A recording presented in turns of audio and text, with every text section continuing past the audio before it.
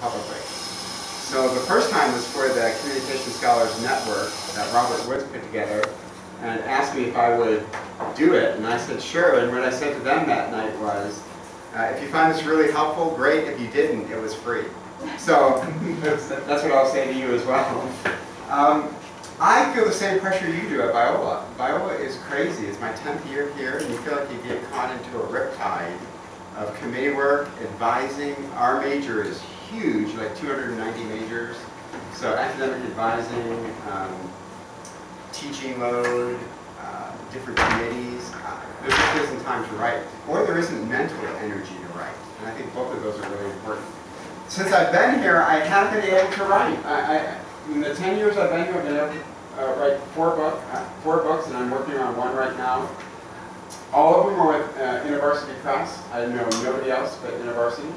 And let me make one quick comment that we'll re revisit. Uh, authentic communication is in their academic press, and the rest are popular, and the only way that InterVarsity will distinguish between the two, if you feel like your book can have a life outside the classroom, their preference is that you would do it in their popular press. When you put InterVarsity academic on the binding, they feel like it really pushes people away from the book. And I have found that to be true, um, is that uh, authentic communication really does just drive people away when they see uh, InterVarsity academic. So again, they would probably prefer that you write for their uh, popular press. Because again, you can adopt that for the classroom, there's no problem. Uh, before we get to writing techniques and writing strategies on how to organize, edit, we have to deal with self-talk. Uh, for me, uh, as I interact with people, self-talk is what really shuts people down when it comes to writing. Um, from a communication standpoint, self-talk isn't part of who you are, it's all of who you are. And uh, people have made a lot of money when sports psychologists and trying to get people to believe in themselves. So if I say publishing a book seems, what would you say? How would you fill in the blank? What would go in that blank? Hard. Hard? Daunting. Daunting? Overwhelming? Impossible. Impossible? Okay? Yeah, yes, and that's exactly what I get from different individuals. Being published would make me feel what? Like a real This is asking for a lot. By the way, when I originally did this, it was me speaking into a microphone, and I never got audience reaction to the question. So I just realized this is kind of intimate kind of stuff. Yeah, being published will make me feel validated. Uh, it'll make me feel like a real professor. Um, let me just stop and say very quickly, if your self-talk is at that stage, I don't think you'll, you'll do much writing. If it feels impossible, then I, I think it'll always appear daunting. And if everything's riding on this book, a feeling of validation, then it becomes too much. Uh, Lord Byron once said, all is to be feared when all is to be lost. So if everything is riding on me being published, man, that's, I, if I gotta make this foul shot to win the game, I'm gonna be a basket case. Um, by the way, even getting published, it, it puts you in a different category of insecurity and criticism. Um, my book, uh, um, I Beg to Differ, was reviewed by Books and Culture, which is awesome. I mean, InterVarsity was thrilled. And 80% of it was positive and 20% was negative. And I stewed on the 20%. I was like, that's... Uh, my books have not won awards. Which, which when you publish, InterVarsity can nominate you for awards, and they have not nominated me for any award, like with Christianity Today and uh, their awards. So it opens you up for more criticism in, in an interesting kind of way. Uh, the popular press is all about book sales. Uh, there's a certain threshold for book sales that they want to see. Academic, it's different. It's a totally different game. So just know that if your self-talk isn't strong before publishing, it, it will take a hard hit once you publish. Um, it, it does validate you for a half hour. And then you're constantly checking Amazon book rankings. You know? I, I think in order for us to write, we have to tune up the faculty, the phantom faculty member. Here's what I do at Biola University. I have a phantom perfect faculty member. And it's really not one person. It's the passion of Eric Tonnes. It's um, Ken Birdie and his wife have this policy that you can call them with 24 hours notice and pop in for dinner. Okay, so I have those two. I have the uh, discipleship of a John Lundy who, who meets with students all the time, and that's who I'm competing against, a person who doesn't really exist. So I'm going to have to fight against the phantom uh, faculty member if I'm going to actually be selfish enough to carve out consistent writing time. So I, I, I think some of you, your, your um, teaching evaluations are, I, I can't believe I'm saying this in front of a dean, I think some of you, your teaching evaluations are too high and need to come down a little because it's killing you to get there. Again, when I fill out an annual report, it asks me three questions, not one. It asks me about my teaching. It asks me about service to the community, which is committee work and speaking in chapel and things like that. The third one is your research. What I have found at Biola, talking to fellow faculty, is the research is the one that they never get to because the other two are out of balance. So I think Biola would want us to be a balanced faculty member, and that means for some of us, those teaching evaluations need to come down a little bit um, because you want to be holistic. And that's hard to that's hard to do when students are always at your door, always want. I teach relationships class, so it's like my wife and I are, the, are uh, Dr. Phil. You know, I mean, people want to talk about relationships all the time, and I will never get to writing if, if I don't put the borders in certain places. The biggest thing I want to talk about when we actually get to writing is we have to learn to turn off the judge. This comes from Roger von Oech, who studies creativity. He says that all of us have a warrior and all of us have a judge. The warrior is the wildly spontaneous creative side. The judge jumps in and judges very quickly and harshly. von Oech would say the key to creativity is you have to have room to let the warrior just run free. But all of us have been trained in academia. Hey, hey come on in. Marla. Uh, all of us have been trained in academia, so we're trained to be the judge. We are trained to be critical, and that, to me, is death when it comes to writing. The judge is over um, emphasized in writing, and we need to learn to silence the judge. And I'll show you some uh, writing uh, exercises that help turn the judge off and allow the warrior to, to be productive. I've read some books on writing, not a ton. Let me give you my worst quote on writing I've ever read. I don't know who Gabriel Marquez is, but um, to me this is death. I have spent many months on a first paragraph, and once I get it, the rest just comes out very easily. In the first paragraph, you solve most of the problems with your book. The theme is defined, the style, the tone. At least in my case, the first paragraph is a kind of sample of what the rest of the book is going to be. I couldn't disagree with that more. You will never write a book if the first paragraph carries all that weight. I actually advocate the total opposite, is just write. Just have fun. Never engage spell check. Just go. um, and don't put all that kind of pressure on the first paragraph. That's so far down the line editing that it'll kind of choke out the, uh, the creativity of it. What I'm saying I'm applying to a book that equally applies to journal articles or any kind of writing, what we're going to eventually get to. Let me recommend this book to you, the single best book I've ever read on writing. It's by Paul Silvia. Uh, it's called How to Write a Lot. Um, it is for academic writing, and he advocates a writing schedule that I've adopted, and I think that's one of the reasons I can produce. But he says this, the goal of text generation is to throw confused, wide-eyed words on a page.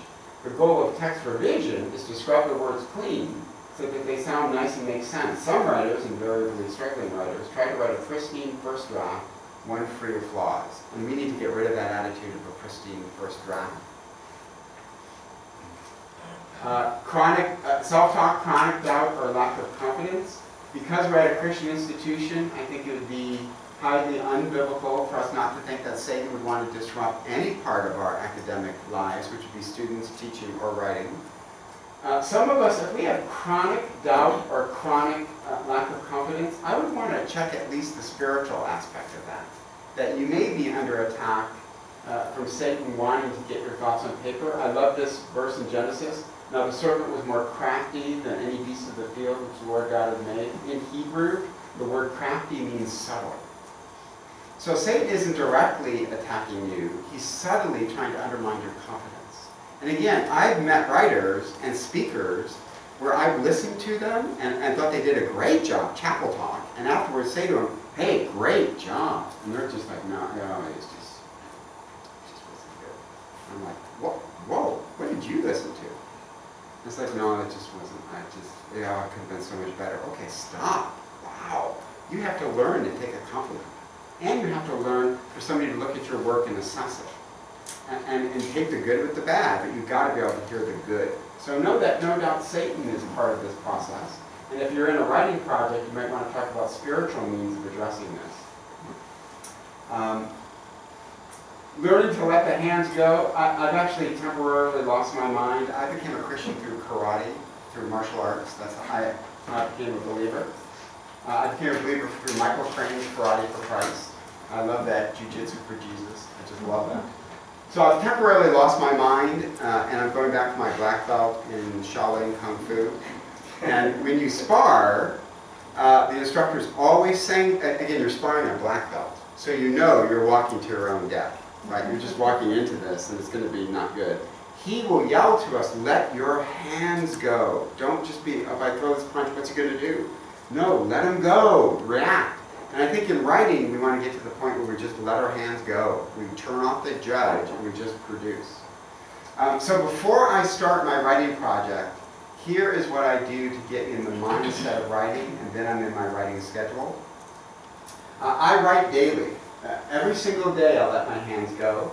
So I, I said this at the seminar. Begin, beginning tonight, write about current events, uh, spiritual issues, or daily events. The Oscars just happened, ISIS, um, the whole um, Brian Williams controversy, and now it's bled out to Bill O'Reilly. Uh, as if an outside reader would read your entry. Think of it, I think of it as an unpublished blog. Absolutely no editing. Not even stopping to engage spell check. I do this 15 minutes a day. I never miss it.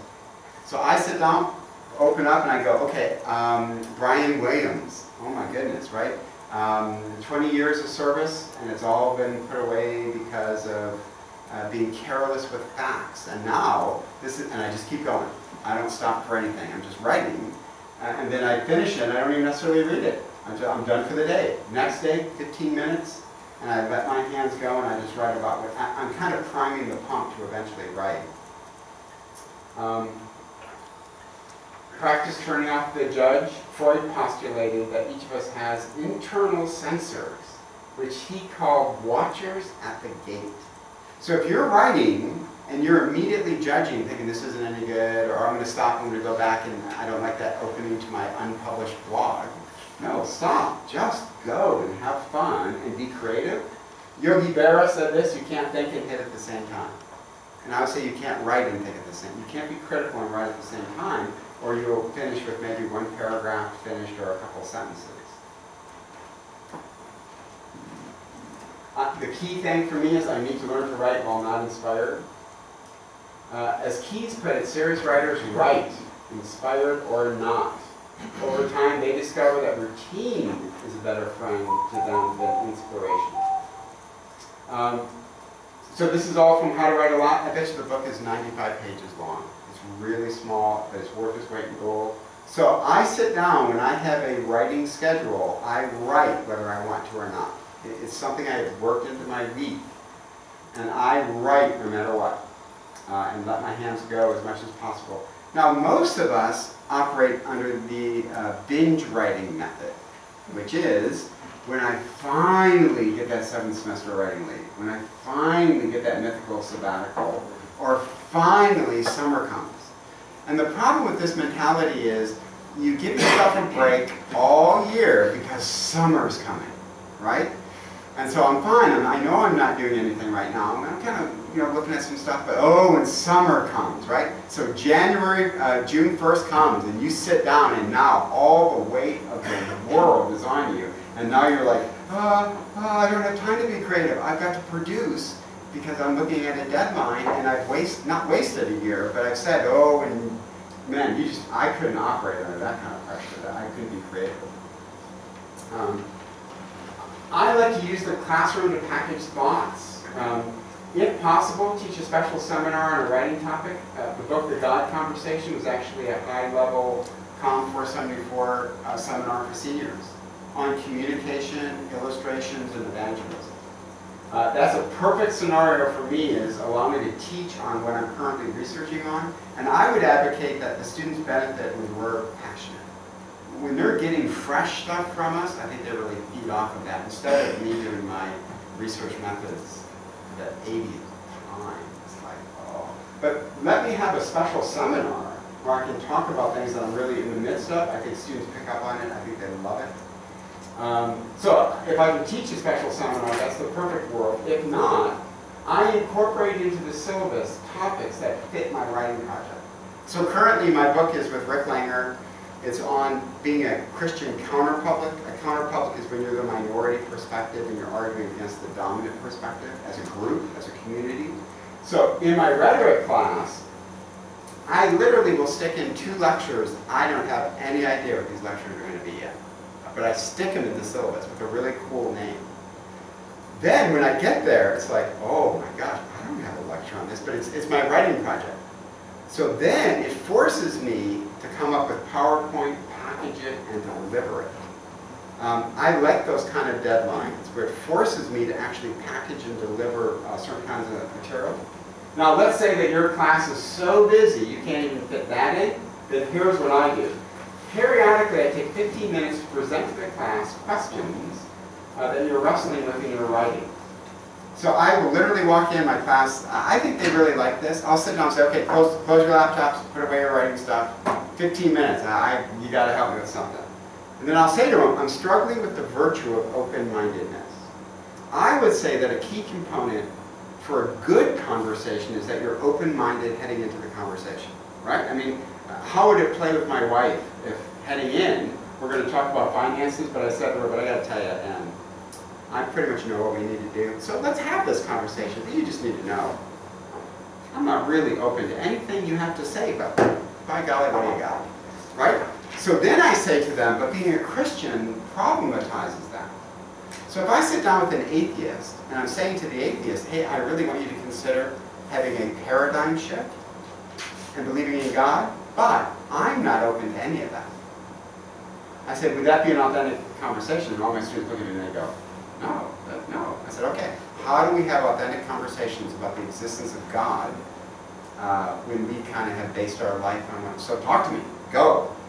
And it's really fun. And sometimes I'll, I'll write it down. Sometimes I ask a student to take notes for me for those 15 minutes, or I record it. And I've gotten great material or sparked my thinking in certain ways, talking to students about my writing project. Even if it's totally unrelated to the class, I think students like being asked their opinion and having it be open-ended where they can contribute. Um, so let's talk about organization. Um, have you heard of Monroe's motivated sequence? Okay, COM theory, Monroe's famous for this.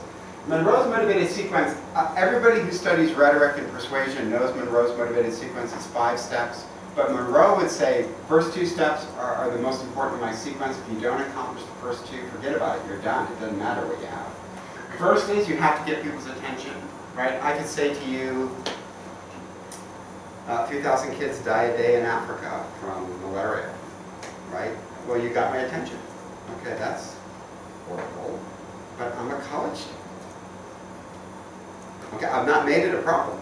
I got their attention, but it's gone because I've not made it a problem. What editors want to see is why should I care about your topic? Why should your target audience care about your topic? And if you're writing about marriage, apologetics, um, rhetoric, what has not already been said for crying out loud when it comes to marriage? So what in the world do you have that gets my attention as an editor and you make me believe it's a problem that must be addressed? That to me is the key for writing and organizes everything.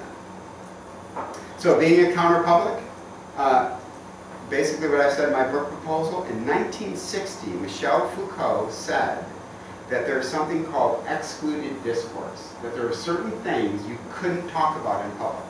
You'd be censored very quickly. He was a gay social critic in the 1960s, so he is envisioning his lifestyle being excluded discourse. Fast forward 50 years, and uh, the chief operating officer from Chick-fil-A is asked, are you a defender of traditional marriage? All he says is, guilty as charged. And now his stores are being defaced with tastes like hate. People are boycotting Chick-fil-A. So today we live in an age where the perception is some of our Christian beliefs are excluded discourse. We can't say that publicly. So how do we become effective counterpublics? Not that we just exist as a group by ourselves, but we actually want to engage people. How do you actually do that in an atmosphere of excluded discourse? And university was like, got my eye, done, got my attention. What do you got? So we've got to get their attention to make this believe it's a problem because so many things are coming past editors and journals. There has to be some unique twist to it. Um, I, have a chapter file. So um, these are manila uh, file folders that I have. My first chapter is what is a counterpublic? I'm going to explain this to people. Uh, then what is a Christian counterpublic? How is that different from being a counterpublic? Uh, and again, I always want to go through Monroe's motivated sequence. I want to get their attention at the beginning of the chapter and make them believe it's a problem. So for what is a Christian counterpublic, here's what I say. Being a Christian counterpublic is no fun whatsoever. Because I believe in a God who's powerful. I believe in a God who can work in the hearts of a king if he wanted to. So I'm out there slugging it along as a Christian representative, and not only are we getting killed, but non-Christian counterpublics for causes that I think run against the Bible are incredibly effective. So it's a bummer being a Christian counterpublic because I don't think any of my prayers are getting answered. I pray things get worse. This is like Psalm 73 every single day of my life. How can the wicked prosper when I'm fighting for a righteous cause and nothing's happening and everything's getting worse? Well, a regular counterpublic doesn't have to deal with that, but a Christian counterpublic has to deal with that. So again, I just want to problematize the chapter in such a way that I get their attention, and here's the problem that has to be addressed. That's why you need to read this chapter. Welcome to the argument culture. Um, we, Deborah Tannen, this is her phrase from Georgetown, she's a linguist. Uh, we, we, we approach everything as if it's a verbal slugfest. So as a Christian, how do I talk about really sensitive topics in such a way that I'm not in a verbal slugfest? By the way, Bob back up to chapter 2. Peter says, when insulted, I want you to give a blessing instead. Wow. How am I supposed to do that? And then chapter four, the credibility of a counterpublic, your ethos is the most important thing. So again, these are my chap these are my file folders, and whenever I see something, I throw them into my file folders. So the whole Brian Williams thing has been gold for my chapter, right? 20 years in the business. And one thing gets questioned. One story gets questioned about his helicopter taking gunfire. Now somebody thinks, well, I gotta tell you what, if he, if he wasn't quite truthful about that, could there be other things? Pretty soon, New Orleans is surfaced, where he says he saw dead bodies floating, and people are saying, listen, I knew where he was staying. There were no dead bodies floating, right? So now it starts to unravel. So your credibility is being questioned. Well, I don't even know how I'm necessarily going to use that yet, but I start throwing it into my file. So Bill O'Reilly steps up and says, you better believe Brian Williams should have been sure about what he was saying. It's the job of a national anchor to absolutely be sure. Mother Jones comes along and says, let's check Bill O'Reilly. And now they're questioning Bill O'Reilly, which adds to what Foucault would call an atmosphere of suspicion. Now I'm starting to fact check everybody. Is everybody um, exaggerating what you're saying or just flat out lying? And as Christians, how do we establish our credibility in an age where you can be fact checked? And second, how do we rise above that? So again, I'm just throwing stuff into my file folders, not even sure how I'm going to use it. Then I have one file folder that I call my junk drawer. This is, I just come across a great illustration. I have no idea how to use it. It doesn't fit anything, but it is just a killer um, illustration um, about a judge in Taiwan who this couple couldn't agree on how they were going to get a divorce. They couldn't agree on anything. So he literally ordered the court to cut the home in half. Literally sever it in half. I have no idea what to do with that. That, that to me catches my attention. So I throw it in my junk drawer. And then when I get writer's block, I open up my pile of stuff and I just start reading it going, oh, that house thing. I still don't know how to use it. That's, that's still pretty cool. And then I'll come across things, I'll go, oh, this illustration, I need to use this. Um, I also begin a quote file. Um, every book I read, I force myself to come up with three quotes from the book. Now, I could get 30, but I'm not going to input 30. I'm not, I'm never going to do that. So I force myself just to do three, and this quote file becomes a gold mine when I'm actually working on different projects. I, I've indexed it, only that I know where it starts, starts and stops.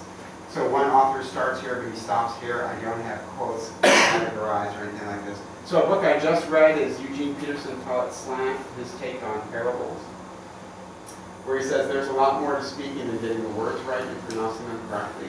Who we are and the way we speak make all the difference. I love this, but it is interesting and significant that Jesus doesn't use crisis language. He speaks conversationally, hardly rise, raising his voice. Samaritans then and now have centuries of well-developed indifference, if not outright aversion to God language, at least the kind used by synagogue and church people. I just find those interesting, so I them a quote file, a Word document, and right now, by the way, I've asked my, I have a TA. I don't usually get TAs, and so one of her jobs right now is I have two books, and I've highlighted the ones I want her to do, and now she's inputting it into a quote file.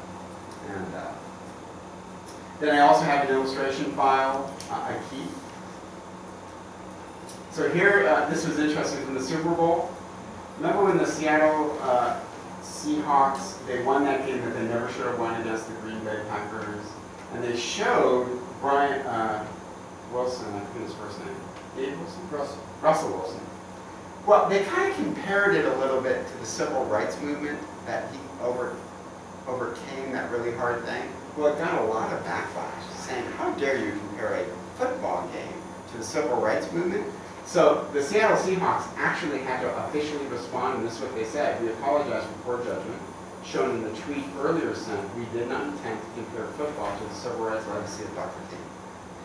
So I'm using that as an illustration to say there's sacred territory with everybody's community. You better not violate it. You better know ahead of time, this is what this community holds sacred. Do not violate it. And we need to know that before we start speaking to another community that you can't trespass on this sacred core belief. Okay, so that's all my preparation to write. Now it's time for me to actually write. And I don't put it off because we're, I'm keen at putting it off. Uh, so starting to write is I use a writing schedule. Uh, the secret is the regularity, not the number of days or the number of hours. You want to consistently write every single week. It could be one day, two days, three days. That's it. But if you do it consistently, Silvia is saying, you're going to be much further than if you have a binge mentality of writing. You must ruthlessly defend your writing time. Remember, you're allocating time to write, not finding time to write. So here's my book. Uh, Here's my schedule. Monday from 8 to 8.50, I write. I sit down with my computer open. Uh, Jeremy's off to school, Noreen's left, and I have this little block, 8 to 8.50, and I write. I open that thing up and I just start letting my hands go free and writing on my current writing topic. Tuesday is 8 to 9.15. You'll notice it extends the 50 minutes because studies have been shown that the second day of writing in a week is more productive than the first day. The first day you've kind of gotten the bugs out a little bit. The second day is always more productive. So I give myself from 8 to 9.15. Thursday I'm back to my 50 minutes. Friday is 10 to 10.50. That's a research day. The goal of Friday is to be ready to write on Monday. Now, some might look at that and say, 50 minutes? That's it? What, what can you do in 50 minutes? A lot more than you can do in zero minutes. By the way, the secret of this method is you can do more than 50. You never do less than 50. So again, I could set that at 30. I could say from 8 to 8.30, but I never write less than 30. I could go for two hours if I'm on a roll and I have the time, but you never do less than 30. So set that for whatever is workable. So I had a person in the Q&A time when I did this webinar said, well, I, I think maybe I've got like 20 minutes. Take it. Take 20 minutes. Write for 20 minutes. Do I feel like such a loser? No, 20 minutes is awesome. Find 20 minutes. So that's my schedule. I do it, I do it um, relentlessly. I did it this morning. I was working on a chapter. Uh, Any questions about this real quick? This is the heart of Silvia's book. And by the way, it doesn't have to be four days, it could be two days. What, but, but the, but the issue is you always pull off what you establish. And by the way, it can change. It, it can change month to month. Um, but this is the heart of how it says to be a productive writer.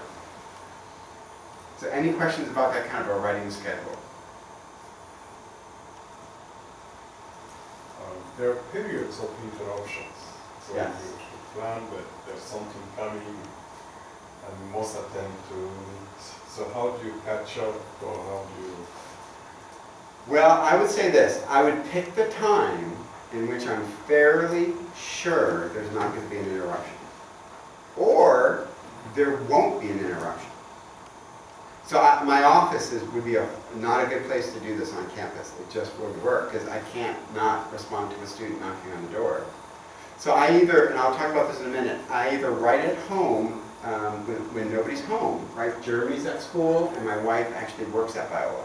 Okay, so I'm, I'm alone. I don't answer the phone. Noreen knows not to call.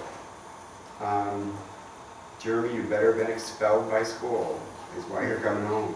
Right, so I, for me, I can protect that time and be reasonably assured. So a lot of writers write late at night or early in the morning, because that's when I can control it. And by the way, let's say something does come up, um, Monday, eight to eight-fifty, I don't make it up, I just make sure Tuesday happens. I, I wouldn't add in another one. I- I would just say, well, that was a bummer. I got, who knew I was gonna be nominated for the Nobel Peace Prize? Didn't know that. Oh, it's coming. Um, So, so that's my schedule, and I, I'm pretty ruthless. I don't miss it. I just don't miss it, uh, as much as humanly possible. Um, Yeah. Okay, this is all writing, but when do you do research? Here, Right. each one of these could, each one of these could be research. Okay, that's, that's, that was my question. But I'm gonna give, I'm gonna address that in a second. But don't fall in love with research. See, research is the, is to me the self-taught. Um, let me give you an example. I'm writing a chapter for this four-volume thing on, it's really cool, four volumes on, let's take a look at theologians and philosophers from a communication standpoint. So I'm, I'm doing Peter Kreeft, I'm a Catholic scholar. uh, And I could, I could work on that outline for a year. I could, I could research for a year. And, and to me, it's safe to research. It doesn't cost me anything. So here's what I would do. I'd research a little. Like, let's say you have the early years of Peter Kreeft, right? So the early years, I've done my research, and now I'm going to move on to the middle years. I'd say stop right there and write the early years. Write it right now. Go. You had a great research day. Next day, write it up as if it's part of your manuscript. Does that make sense? Because I love research.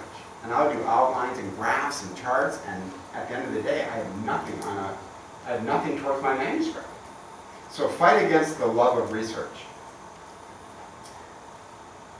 Now, I start each session, so now my, my 50 minutes is actually 45 minutes. Because five minutes, again, when you sit down and open that thing up and you're like, okay, it is 8 o'clock on a Monday and let's go.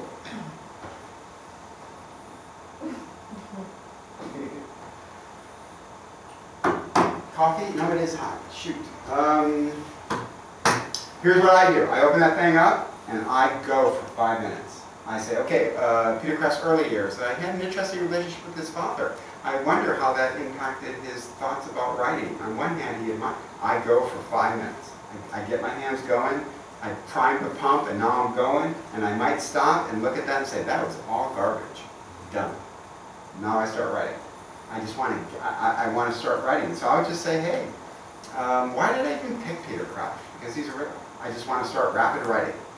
Go. Uh, Virginia Woolf believed writing at a gallop leaves one's internal critics behind. Again, I'm learning to turn off the judge is what I'm doing by my rapid writing. Uh, learn to accept imperfect thoughts on paper. But I want to have those thoughts on paper. I don't want to work it out just in my mind. I want to actually write and work it out. Um, So five minutes rapid writing. Uh, every day I start with this five minutes. Um, all right, now this is this is probably so quirky. No one's gonna think this is a good idea but me. I use a writing prompt. So I have an iTunes file that is solely used for writing. And my first song is Steve Winwood's song Fly. And at the 50 minute mark comes Kim Waters' Step in the Name of Love. It's a saxophone uh, jazz number.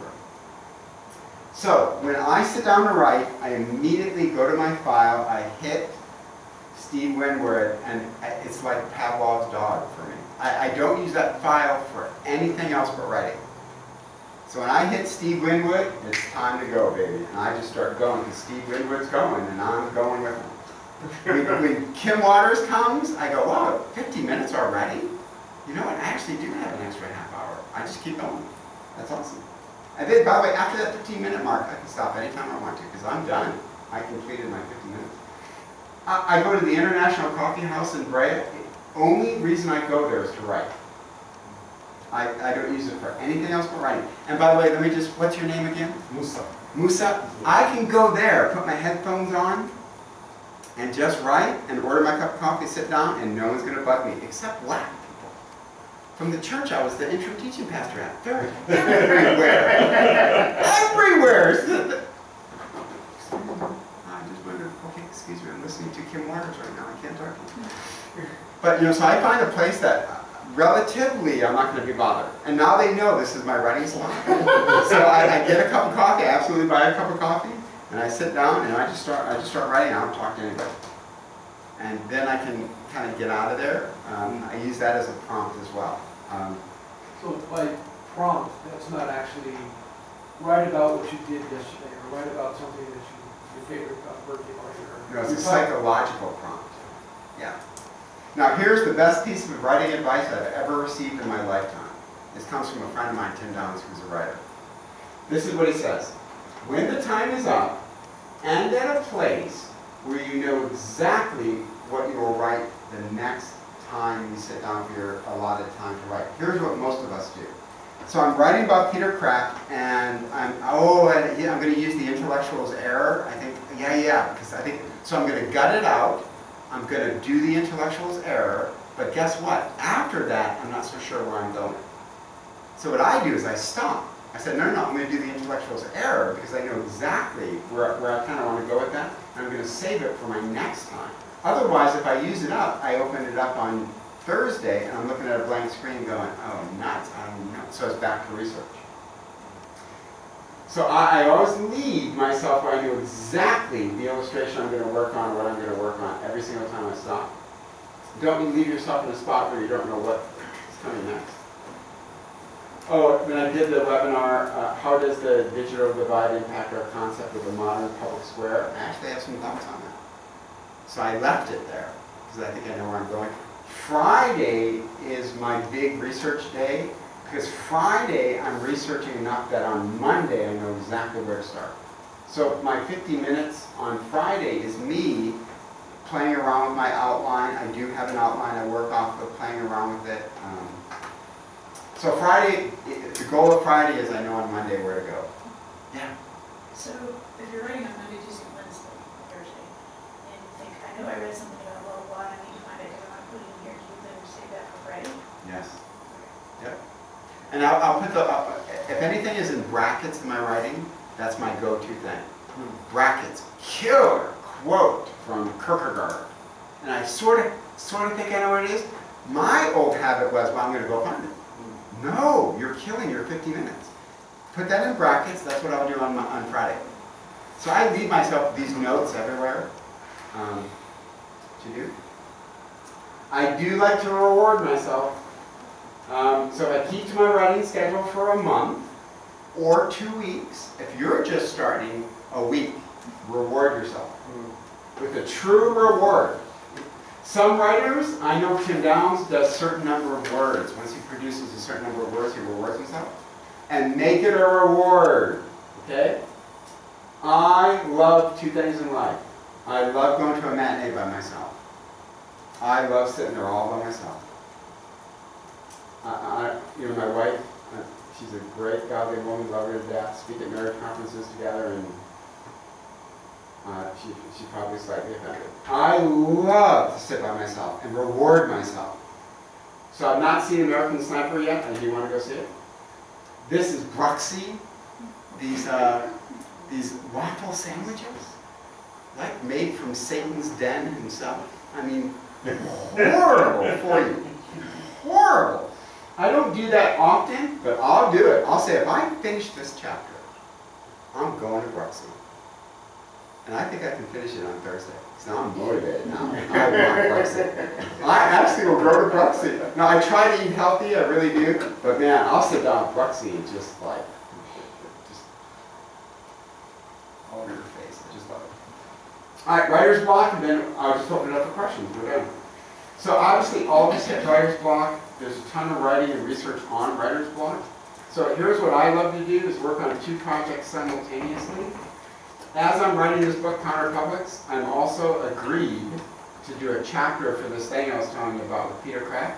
So if I ever really, really, really get stuck, like I'm just done, it's like, okay, I've got chapter four. I have no idea what to do with chapter four. I'm kind of done tired of talking about Counterpublics. I'm going to go do my Kreeft chapter. So I'll bop over to Kreeft, and now my writing schedule is all Peter Kreeft, and I might do that for a week or two, and then I bop back to my main project, which is Counterpublics. By the way, if you really have writer's block, one writer suggested, take a book that you love uh, and just type it out word for word. Get used to typing really good stuff, right? So I'm reading a, a meal book. No, I'm just kidding, Marla. But you know, a, a book that I really like how this guy writes. Peter Kreeft is an awesome writer. So I literally would just, just write word for word and get used to writing good stuff, and then maybe that'll break it. Here's one that um, Google does, as well as NASA. Studies are done, and if you watch stand-up comedy, clean, which is hard to find, stand-up comedy, it has been shown to break writer's block because people associate things you normally would not associate with each other. That's what a good stand-up comic does. So remember Steven Wright? Am I really dating myself? Okay, Steven Wright. So listen, if at first you don't succeed, then skydiving definitely isn't for you. What's another word for thesaurus? I love that. I'd kill for a Nobel Peace Prize. I'm writing a book. I've got the page numbers done. See, and when I was doing this webinar, I couldn't hear anybody. I am laughing my head off. Thank you. One, I hope people are listening. I have no idea if people are listening. Two, I, come on, you gotta think this is funny. Um, so I will, I will watch Steven Wright. YouTube is great. You can punch up a bunch of comics and just watch it, and it kind of gets you to think about things. Last thoughts from an editor. I called my editor at University Press. I've been very uh, impressed how easily accessible they are. So I said, hey, I'm doing this webinar. Can you, can you just, uh, some things you'd want writers to know? They talk about the benefits of co-writing if two people bring something different to the table. So I said, give me an example of that. He said, how about a specialist, a PhD, and a non-specialist coming together? Hey, how cool would that be for you guys to have somebody who teaches at a university and somebody from the mission field? Right now you've got the scholarly part, you've got an active uh, person in the field. A psychologist, well, well, let me say, the one that struck them was, Jake, my, my first book was called The God Conversation, which is a book on apologetics from a communication standpoint. So our pitch was take one of the leading apologists and stick a calm guy with them. And they're like, oh, I like that. I don't know if they would have been up for two apologists or two calm people, but they do like the um, diversity of things. And by the way, I like co-writing um, because now you have these hard deadlines. You're writing with a person, and you and that person says to you, "Hey, I really do need your draft for chapter three next month. I just need it." It's harder to say no to a person. Um, what is the editor looking for in your book? He would say, "I'm looking for two things." Uh, this surprised me. One is a letter of reference, but know what the letter of reference is doing. The letter of reference isn't about your expertise.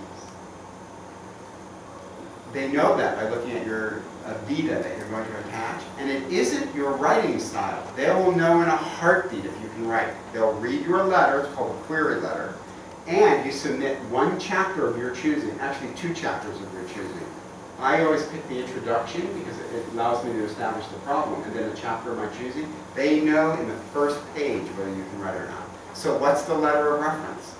The letter of reference has to do with the second thing you're looking for, and that is your marketing page. You know that publishing is in really bad straits right now uh, because of self-publishing has really taken off. The vanity press isn't so vain anymore.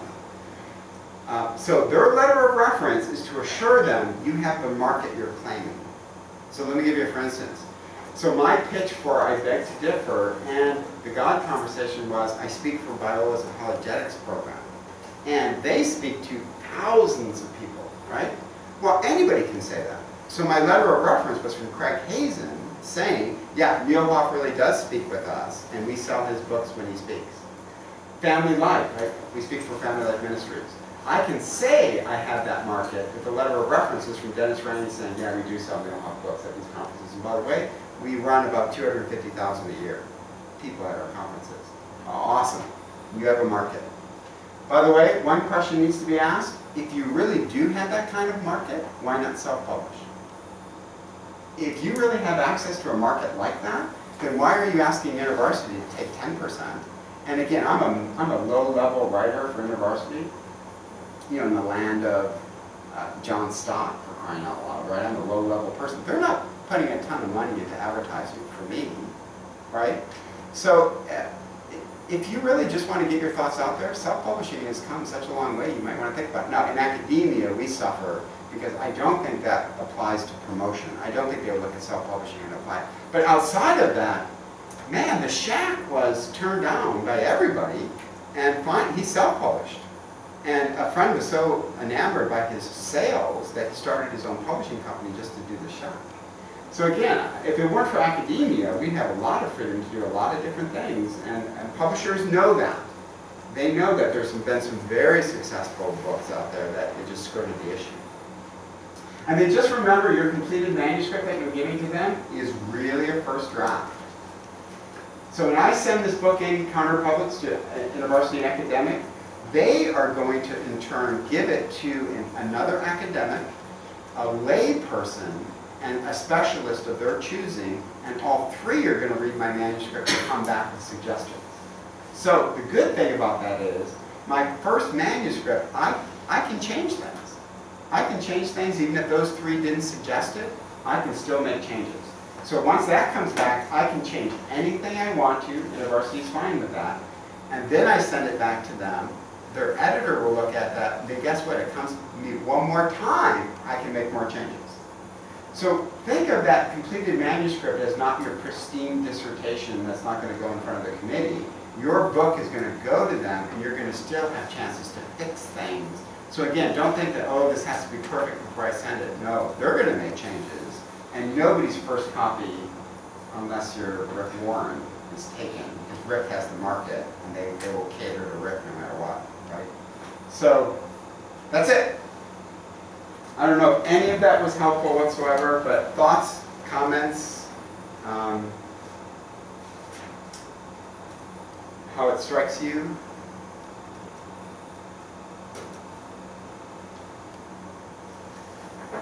Given that book publishing is such a competitive, Yeah. decreasing market, what do you think is the future? Say that again? What do you think is the future of publishing? Oh, it's up for grabs. It's completely up for grabs. I mean, they're really in tough shape. And we're still in a recession. University would say we're still in a recession, so the numbers have changed. If you go academic, uh, the expectations are, are low. So let me say, for InterVarsity pre-recession, if you did a popular book, they would be looking for roughly five to six thousand copies sold. Recession, which we're still in, now they, they would drop that down to roughly, uh, I think Al Hsu said to me, three to four thousand in a recession. IVP academic, fifteen hundred. Because again, they want to make their money back. So fifteen hundred. At the same time, I think we can say that there are more options. For example, there are more journals that professors can Yes. publish in. Yes. There are you know, I've seen some pretty, um, you know, obscure publishing houses for books too. So if we're doing it just because, you know, we need a promotion, we've got some good ideas, I don't think we should worry about, oh, I don't think six thousand people are gonna read this book. I think we should just get the book done. Well, think about your market though. Your market is, I mean, you're, you're part of a well-known Christian university. Um, are there certain events your department can do to, to get you outside of even the, the uh, department? So again, a campus-wide event that you would host. I think university would look at that and say, okay, so it's not just your students. You actually have a chance to do something campus-wide. Uh, I think they would be very favorable towards something like that. But you have to show them, I can actually get to the 6,000. Now that, that can be discouraging because a lot of people do not have access to 6,000 people. They just don't. But as a university, I think we can say that we, you know, realistically have access to certain things.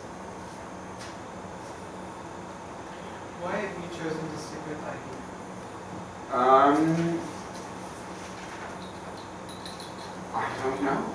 I don't know anything else. I have friends who are with Zondervan. I have friends with other places, and you learn what they do and don't do. The one good thing InterVarsity really does is they're really into radio interviews. So you hit a radio tour. Uh, for I beg to differ, I'm up to 40 radio interviews. Now you do them from your house, right? You walk around in your pajamas and do a radio interview. Uh, my friends at Zondervan say, what? What? I bet you I've done two. So I'm pleased with, with InterVarsity, because again, it costs them nothing to have two new off booked on that. It doesn't cost them anything. And if anything, it gets InterVarsity's name out there. So I, I think my answer to that would be the radio interview thing is what, and again, I have access to the editors now. You want to protect those relationships. So Kitty, what I would suggest that you do, uh, and I found out about this late, but Talbot, editors are always, publishers are always coming through Talbot. And I think it would be good to reach out to Talbot and just simply say, can I get in on when that publisher actually comes to Biola? I think that that also brings up another question, that is, what if we honestly have no idea what to write about? You know, we barely have an idea for an article. Some, some of us are in that situation. Okay. I would, I would sit and have uh, brainstorming times together. And again, I work through Monroe's motivated sequence. What's the problem you want to address and why is it a problem? Kenny, if you just had that figured out, an editor would listen to that. An editor would say, okay, what do, what do you got? Well, did you know this is happening in the world today? Uh, I actually didn't. Or, yeah, I did. I'm aware of that. So what? Here's why it affects all of us. Good. You don't need to have anything but that. And now that editor has a name and a face.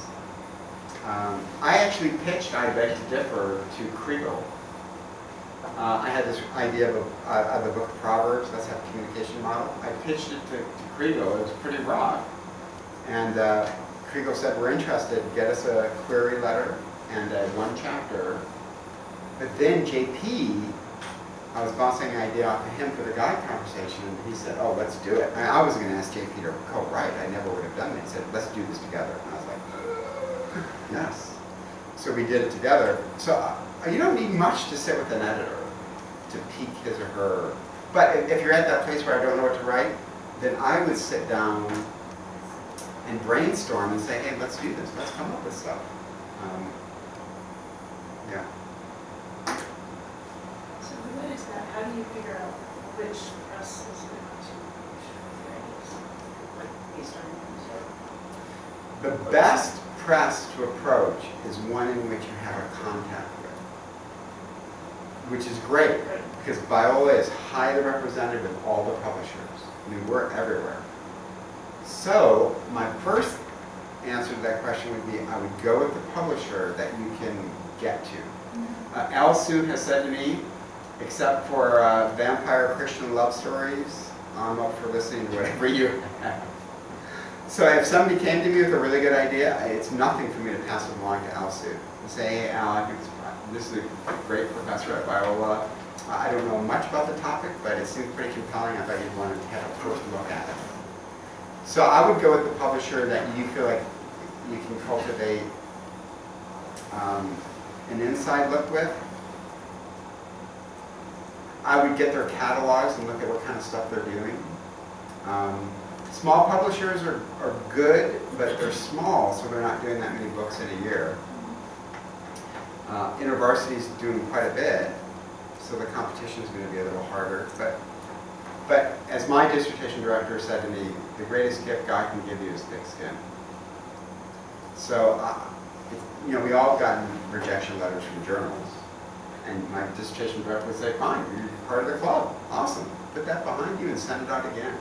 So I, I would be proactive in sending out stuff, and there's writers' workshops that you can actually go to where they have special seminars on all of these topics. We always take advantage of uh, the writers' workshop that they do every January and June, is they set up places for us to write. And I always sign up for one of those and go, because it, it's accountability for me to sit, and you start to have good relationships with people where you can bounce ideas off. But I would have, a, if I would be so bold to suggest, I would have a time for your department, your division, to come together and, and brainstorm ideas, book ideas, collaborative ideas as well, but just to say, hey, I've got this crazy idea, is it any good? And sometimes that idea wasn't good, but it's, it's, it spins off to an idea that was really good. Like that didn't so much work, but did you ever think about doing it this way? And you're like, oh, I didn't. That's really good. So I, I've used resources that you have just to say, hey, let's talk and brainstorm.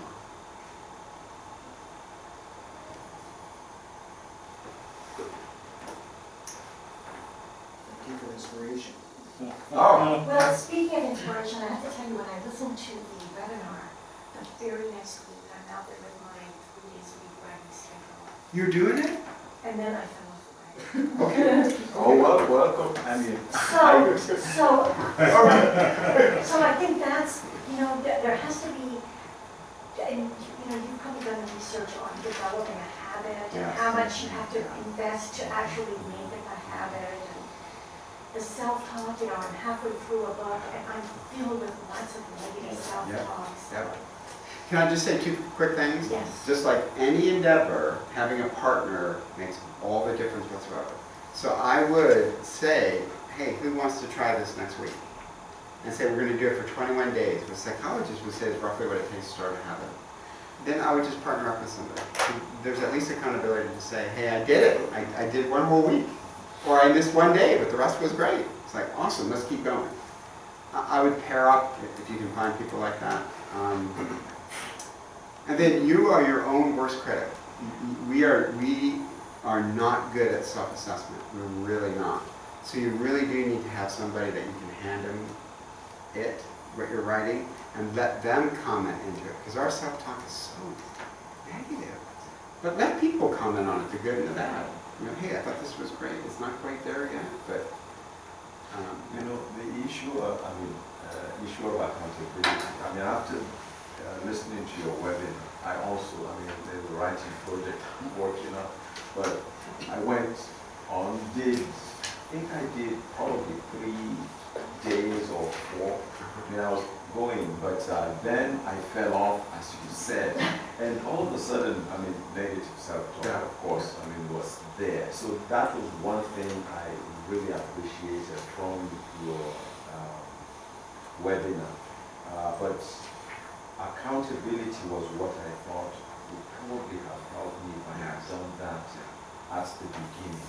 But one thing you said uh, at the webinar that I think is very important is uh, you advised that uh, if you're going to begin something like this, it may be helpful to even begin with prayer and fasting.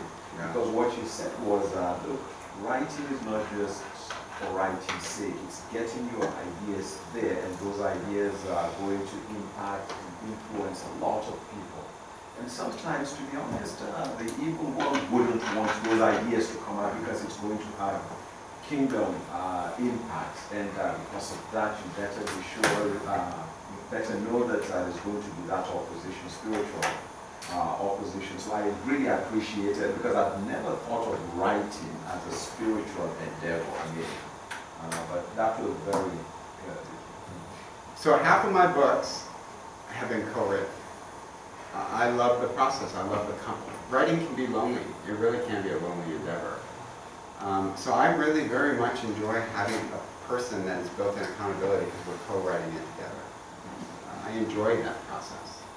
And the university's not balked at it. They've not looked at it and said, no, we don't want you co-writing. I don't think they have a- an issue with it. It can actually be a huge plus, because now you've got two markets coming together, if you think of it that way, um, which, which could be attractive to them, yeah. Yeah, I co-authored my first book two or three years ago with Gary McIntosh, who's written 20 books, right? Yeah. So he used his leverage to get us a contract. Yeah. And then it was that accountability, I didn't want to let Gary down, that kept me writing. So, I mean, that was a great launch into that. And JP was my co-Cal student at varsity, Yeah. think, so very generous. Let's express our appreciation for Tim. Thank you. And, um, Tim, if you're able to linger, have a lemon bars and cheese and crackers, maybe there's one or two more questions someone wants to ask. Sure. I'll see But Brian. if you need to, um, head off,